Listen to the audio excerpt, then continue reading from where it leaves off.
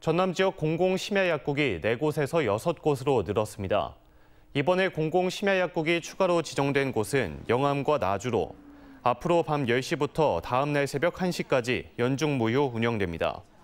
공공심야약국은 심야 시간대 지역민들의 의약품 구입 불편을 해소하기 위해 도입됐습니다.